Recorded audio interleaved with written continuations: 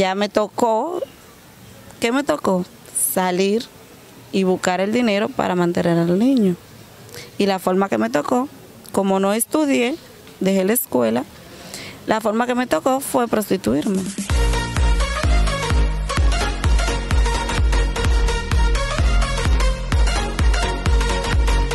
Bueno, mi gente, hoy estamos aquí con una joven, estamos con una joven que tiene una experiencia muy picante ella. Ella nos va a contar un poco de esa experiencia, una experiencia picante de lo que ella ha pasado, de lo que ha vivido a nivel de calle. Cuéntame, ¿cómo tú estás? Bien, gracias. ¿Y tu nombre cuál es? Mi nombre es Lucrecia. Ok, entonces, oye, me cuéntame de esa vivencia, de esa experiencia que tú has tenido a nivel de calle. ¿Qué ha sido todo eso que a ti te ha pasado tan, tan extraño? Bueno, realmente, ¿qué te digo? A la edad de 14 años eh, me fui de la casa de mis papás. Eh, cuando me fui, eh, me fui para donde una hermana. ahí, tú sabes, no era que mi hermana me trataba mal, realmente no. Pero ya yo lo que quería era calle. Al estar en la calle, tú sabes, pasé pila de bobo, como dicen eh, tuve presa, eh, estuve en Hogar Crea eh, y pasaron muchas cosas más. ¿Y por qué tú te fuiste de la casa de tus padres? Bueno, me fui de la casa de mi papá porque realmente mi papá me maltrataba mucho. me daba mucho golpe, o sea, por todo era golpe, no me dejaba salir, yo no interactuaba con nadie realmente y así sucesivamente. Ya lo último que eh, rebosó la gota fue una vez que él estuvo bebiendo y se le perdió un, dinero y él dijo que ese dinero había sido yo, eh, cuando no había sido yo. Y por eso me fui, por eso me fui, pero ya tú ¿Y por qué tú te ríes cuando tú lo dices? tú sabes, son cosas como que uno las recuerda y a veces uno quisiera volver el tiempo atrás, pero ya no se puede. ¿A dónde fue que tú te fuiste? ¿Donde una tía? No, donde una hermana mía. ¿A donde una hermana tuya? ¿Qué tú te dedicaste cuando te fuiste donde tu hermana? ¿Qué pasó ahí? No, cuando yo me fui donde mi hermana, mi hermana me trataba muy, pero muy bien. No puedo decir lo contrario. Eh, luego fue una persona a la casa de mi hermana muy allegada a mí, donde me dijo, ay, pero tú aquí, qué sé yo qué, te están tratando como chopa, donde realmente no era así. Pero yo con 14 años, dime tú, para mí sí era así. Eh, luego me fui de casa de mi hermana.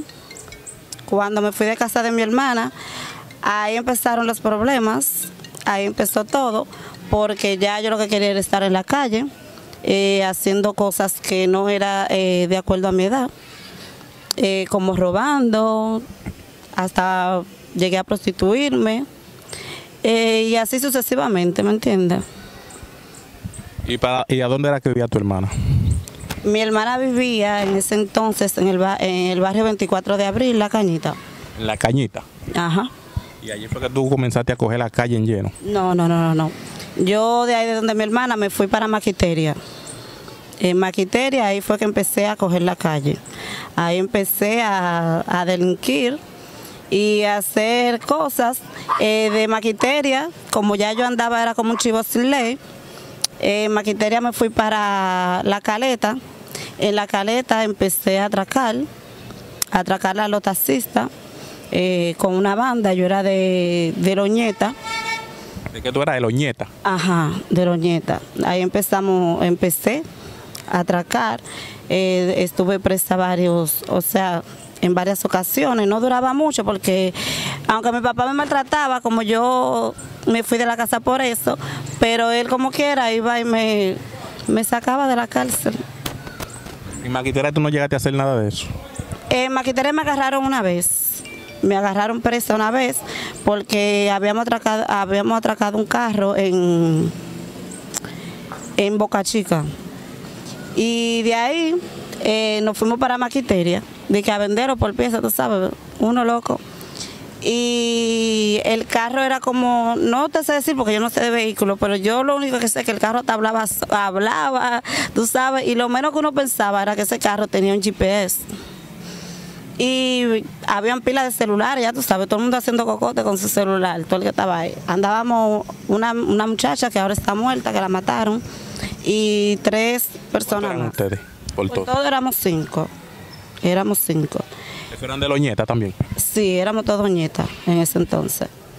Eh, andábamos, cuando llegamos a Maquiteria, en Maquiteria hay un sitio que cuando cae un poco de agua se, se convierte en, la, en Venecia. ¿Qué pasa? Que el carro en ese instante se quedó trabado. No dio ni para adelante ni para atrás. En ese momento eh, estamos toditos, tú sabes, haciendo movimiento, aunque sea de empeñar los teléfonos, de esto, de lo otro, para uno poder salir de ahí. En ese momento no, no se nos tira el jotado. Yo corrí, pero por más que corrí, me metí en un callejón sin salida. Ahí me, me agarraron, me llevaron presa al J2. Luego mi papá fue, tú sabes, y me acuerdo yo que cuando mi hermana fue, había muchachos, eh, había un muchacho que conocía a mi hermana y cuando me vio yo estaba descalza porque yo había dejado lo- los zapatos botados, eh, estaba descalza, estaba sucia y todo.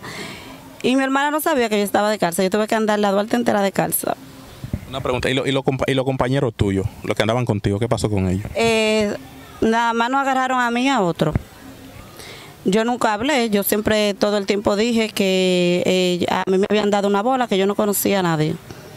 Ellos me decían que sí, que los otros compañeros míos, los que andaban, eh, estaban ahí también presos. Pero yo siempre eh, dije que yo, no, que yo no lo conocía a ninguno.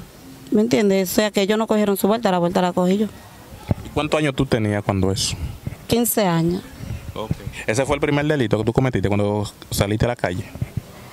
Realmente no, ya había cometido hay otros, pero los otros no, te- no tuvieron tanto impacto como ese, porque con ese ya eh, estaba ya fue mi papá, ¿me entiendes? Ya con ese ya eh, eh, tuve, estuve en la cárcel, estuve en Villa Juana, menores, eh, me llevaron incluso al palacio, ¿me entiendes? Ya eso es algo que sí me, impactó, ¿me entiendes? Ya los otros me impactaron, pero que no, no, no, no se descubrieron. ¿Qué- y, cuáles, ¿Y cuáles fueron esos otros que tú cometiste? Igual, porque yo me dedicaba a eso, a, a, a- a robar carro, era. ¿Te dedicaba a eso? Claro, cuando, cuando empecé, tú sabes, era eso lo que hacíamos cuando me metí en la nación. ¿Y como cuántos carros te- tú te llegaste a robar? Más o menos. No, no mucho, porque ya eh, como algunos tres, tres o cuatro, ya el último ya fue cuando el, eh, me agarraron, que incluso el señor me identificó, el, el señor del carro. Y eso. Aunque yo siempre le negué y le dije a él que no, que no era yo, que él me estaba confundiendo, pero imagínate. Y después, y después de esos tres carros que tú te, te robaste, tú me dijiste que tenías 15 años, ¿cuándo eso? 15 años. Y después de eso, de esa, de esa ¿cuánto, cua- ¿qué tiempo duraste en la cárcel por eso? No, yo no duré mucho porque al yo ser menor, lo que tenía era 15 años, yo a mí lo que me llevaban visitas periódicamente a Villa Juana, eh, me llevaron al palacio, del, eh, pero no duré mucho, no duré mucho, no que semana ni nada de eso, no días, días nada más. Ok. Y después que tú saliste, y después que tú saliste de la cárcel, los otros compañeros tuyos, ¿tú lo viste otra vez? Claro, sí, yo lo he visto, claro, yo lo he visto. Incluso he hablado con algunos, tú sabes, pero hubo, o sea, la amiga, la compañera, porque éramos dos, dos hembras, a ella la mataron ayer en la caleta. ¿Y por qué la mataron a ella? Bueno, yo no te sé decir bien, pero me imagino que era que estaba en lo mismo. Realmente no te sé decir bien, no te voy a decir una cosa por otra. Yo sé que ella la mataron, la hallaron muerta en una jipeta. vamos, vamos a seguir contigo. Me dijiste que no duraste mucho presa. Y después que, después, que, después que tú saliste de la cárcel, ¿a qué más tú te dedicaste? No, después que yo salí de la cárcel, mi papá optó por llevarme a un, hogar- a un hogar CREA. Realmente él no me llevó al hogar CREA porque yo usaba vicio, porque no lo usaba. Eh, nunca me gustó la marihuana. Yo, yo pensaba que hogar crea nada más iban los lo, lo, lo- ajá, los viciosos, ¿no? No. Eh, a mí me, eh, yo estaba en hogar crea por, por, mal comportamiento, por rebeldía. Al yo ser una menor, eh, mis papás me llevaron, pagaban una cuota por tenerme ahí. Incluso quien me llevaba era alguien de por aquí mismo. Quien, quien transportaba a mi papá los domingos para irme a ver. La visita eran los miércoles y los domingos.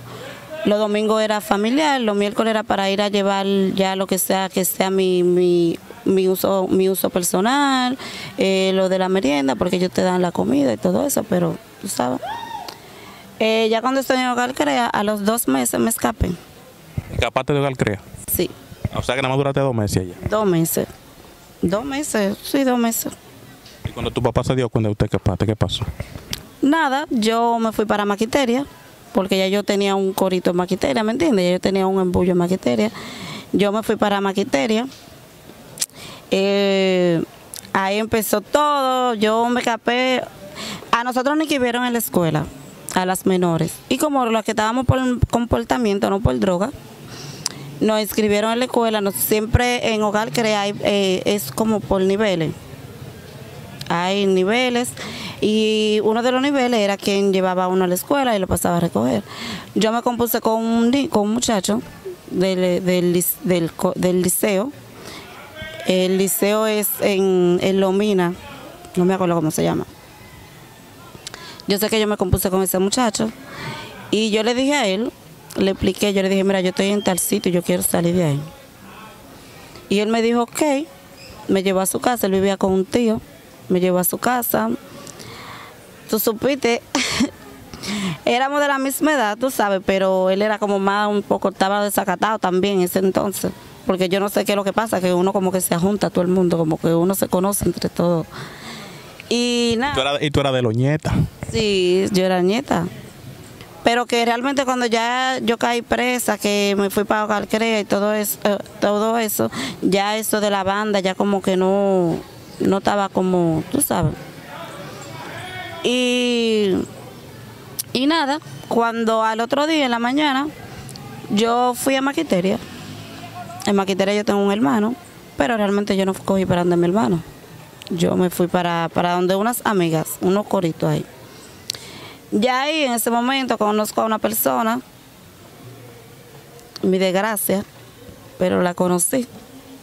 Conozco a alguien, eh, me meto con esa persona, duró cinco años, o sea, duré cinco años aguantando mucho maltrato porque me daba pila, muchísimos golpes.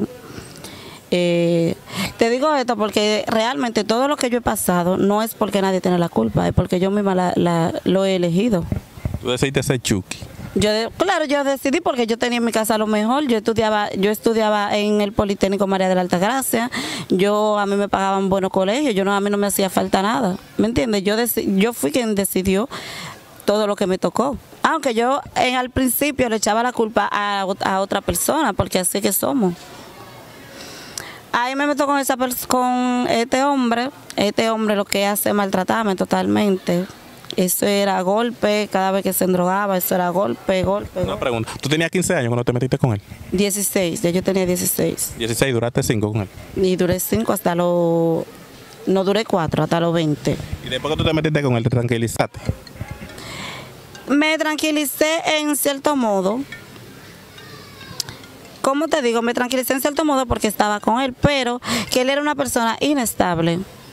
¿Me entiende? Que cuando le daba eh, su droga me botaba de la... A veces yo no, no encontraba para dónde ir ni nada. A veces tenía que hasta que dormir en la calle o, o pedirle a alguien que me dejara... ¿Tú te, tú te metiste con él después que saliste de, de Hogares Crea. Sí. Después que yo salí de Hogar Crea, lo conocí el mismo día que yo salí de Hogar Crea. Y te metiste con él de una. O sea, no me mudé con él de una vez, pero me metí con él, no- no- nos conocimos y después ya no, eh, él me mudó, como se dice. Sígueme contando, sigue. Entonces, eh, como te seguía diciendo, ya meterme con ese hombre, eso fue algo. Una vez me iba a tirar de una segunda, eh, era algo, algo terrible, algo terrible, muy terrible. Y después que tú lo dejaste, ¿qué pasó? No, Tú me dijiste que te tranquilizaste un poco. O sea, yo estaba tranquila. Tranquila en el hecho de que ya yo no estaba robando, de que ya yo no estaba eh, eh, delinquiendo, como te digo, pero no tranquila de que de que estaba tranquila, de que, que ya yo estaba de que serena como estoy ahora. ¿Me entiendes? Porque ahora ahora sí yo siento que yo estoy tranquila, no en, no en ese momento.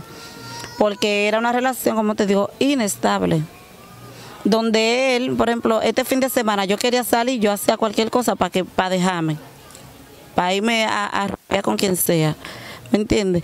Eh, y sucesivamente, él por igual también, no era algo que era, cuando él quería darme golpe, me daba golpe, cuando quería ponerme la cara así, me la ponía. Era algo que yo pasé mucha, mucha, mucha, mucha, mucha. ¿Y después, después que tú dejaste de él? No, de la forma que yo me dejé de él fue que salí embarazada. ¿De él? De él no. ¿De otro, de otro tigre? Del papá de mi hijo. ¿De otro tigre? De otro. ¿Pero tú te saliste embarazada? No era tigre, ese no era tigre. No, no, Pues son decir, pero tú saliste embarazada en la casa estando con él. Es que como te digo, lo de nosotros era algo inestable.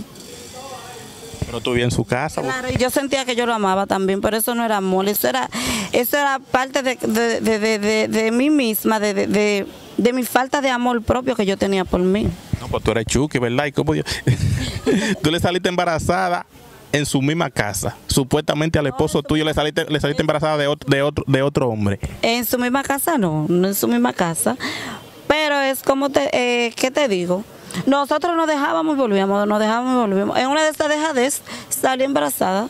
Y cuando, cuando, cuando tú saliste embarazada, que él se dio cuenta, ¿tú le dijiste que no era de él? Al, principio yo intenté pegárselo. Pero que, tú sabes, él dije, todo el tiempo, tú sabes, dijo que no, y eso incluso. El de quien yo salí embarazada, el papá de mi hijo, él me negó el niño, y con su razón. Él me negó el niño, eh, al él negármelo, yo lo que hice fue, fui donde mi hermana, mi salvadora, que siempre me salvaba, ella vive en San Pedro, ahora mismo no, no vive en San Pedro, pero en ese momento yo cogí para allá yo, yo sí creía que estaba embarazada, pero no estaba tan segura, porque yo era muy delgada y la barriga no se me veía. Lo que tenía eran los senos muy grandes. Entonces mi otra hermana fue a, de visita allá a la casa y ella le dijo que porque yo tenía los senos tan grandes. Ahí ella, me mandan a hacer una sonografía entre ella misma, tú sabes, ya comentándose entre ella misma, porque tenían, estaban asustadas porque yo tenía... Ahí salí de que tenía ya cinco meses de embarazo. Ahí mi hermana me dijo, yo pensaba que ella me iba a votar, ahí ella me dijo que no, que donde comen uno comen dos. Y nada, pasé pila de trabajo con mi niño. Eh, al cabo de cuando el niño tenía cinco meses, me fui para Bávaro, porque el papá del niño, todavía viendo la prueba de que el niño era idéntico a él y todo, de todas formas no lo quería mantener. Ya el niño está, ya obligatoriamente yo soy su mamá, eh, no me lo quise sacar eh, ya me tocó, ¿qué me tocó? Salir y buscar el dinero para mantener al niño. Y la forma que me tocó, como no estudié, dejé la escuela, la forma que me tocó fue prostituirme. ¿Te dedicaste a eso nada más? Sí, a eso nada más. Dejaste, tú dejaste de, robar, de... Sí, ah, entonces te dedicaste a, la prostitución. Allí en Bávaro fue eso. Ajá en Bávaro, no, yo, yo anduve mucho. Claro, yo anduve mucho porque tú sabes que uno se queda aquí, dice que aquí está flojo, después para allí, después para acá, tú sabes. Yo trabajé en Bávaro, en Boca Chica, en Juan Dolio. ¿Trabajaste? Trabajé porque eso es trabajo. No, porque es un trabajo, eso es trabajo de la vida alegre, se llama eso. Claro, pero es un trabajo. Es un trabajo, o sea, yo no no no no no no me estoy justificando, pero tampoco no no el que la, la que lo haga o Dime tú. Eso, tú lo hacías haciendo de loñeta. No, ya ahí, ya yo no era de nación, ya yo no era de nada. ¿Cómo tú te saliste? ¿Tú te saliste así? Así, porque eso como que se disolvió, como que al principio eso estaba como bien, bien concentrado, pero eso de las naciones como que se disolvió solo, no, no, no sé, eso como que se disolvió solo. Pero tú no me, tú no me hablaste de la, de la experiencia que tú tuviste en esa nación, lo que tú viviste, aparte, aparte de los robos de carro. Bueno, eh, porque yo realmente yo no tenía un, rango alto. ¿Qué tiempo tú duraste en la, en la, en la, en la, en la loñeta, en loñeta, en loñeta? Yo no duré mucho tiempo, yo no duré mucho tiempo porque eh, me acuerdo yo que yo hice mi, mi, no me acuerdo cómo se llama, en, en la caleta. El jefe de nosotros se lo llevaron preso y eso, ¿me entiendes? Pero más o menos, ¿cuánto tiempo tú duraste? Yo duré algunos dos meses. ¿Dos meses nada más tú duraste? Sí, dos meses. Yo nunca subí de rango. Yo me quedé nada más ahí en el, de corazón. ¿Y qué rango tú tenías? No, yo nunca subí de rango, yo siempre me quedé, tú sabes, porque si, empecé, cuando empecé, entonces empecé rapidísimo, empecé a estar robando, a hacer vaina, a estar presa y vaina, ¿me entiendes? No, no, no llegué a, a si fui a, cinco o seis reuniones, eran muchas. Nosotros hacíamos reuniones en Villa Duarte, con todo, o sea, todito, en Villa Duarte, en, en, en Sánchez Isabelita, en muchísimos sitios, ¿tú entiendes? Hacíamos eh, eh, reuniones, pero realmente yo nunca pasé de rango. ¿La única experiencia que tuviste fue esa, la de los, robos de los carros? La robadera. ¿No tuviste otra? No. ¿Y qué, ¿y qué tuviste tú, qué, tuviste que hacer para meterte a los nietos? Bueno, realmente yo no tuve que acotarme con nadie, como dice. Pero yo no dije, pero yo no dije eso. Yo nada más te pregunté qué tú tuviste que hacer para entrar a la, a Loñeta. Yo a mí me pusieron como a, leer un, una, algo, tú sabes, como que es de, ellos, de la, de, la vaina de la nación y eso. Y no me tuve que acostar con nadie, ni me dieron tabla para yo entrar ni nada. Solamente eso, y yo estaba en prueba, era. Yo no, no, no, a mí no, no, no, o sea, yo estaba en prueba. Yo no estaba que concentrada en la misma nación, yo estaba en prueba. Ok, ahora, ok, ya hablamos de la nación. Ahora, cuéntame de esa experiencia que tú tuviste o sea, en el trabajo que tú tenías de la vida alegre. ¿Cómo fue que tú comenzaste ese trabajo? Bueno, yo te voy a decir algo. Yo empecé fue porque tenía que pagar una habitación que yo eh, había alquilado. Tenía a mi niño pequeño, a Byron. Eh, aparte, el papá, como te digo, no me quería ayudar. Yo, por ejemplo, si mi hermana le cambiaba la leche a su hija, yo también se la cambiaba, se la cambiaba al mío y eso, que tienen cinco meses de diferencia. Pero yo se lo cambiaba. Si no había pamper, tampoco había pamper, porque todo, yo trataba, era de, tú sabes, de, de, de, que si mi hermana, por ejemplo, le daba a mil a, a la niña, yo también le daba a a Byron porque... Era, ¿Tú tenías como una competencia? Era con tu no, no era una competencia, sino que yo se la daba porque ella la compraba y yo la cogía. ¿Me entiendes? Porque yo no, no tenía cómo conseguir para yo comprarle sus cosas a mi hijo. ¿Tú entiendes ahora? Ya, ya, ok, entiendo.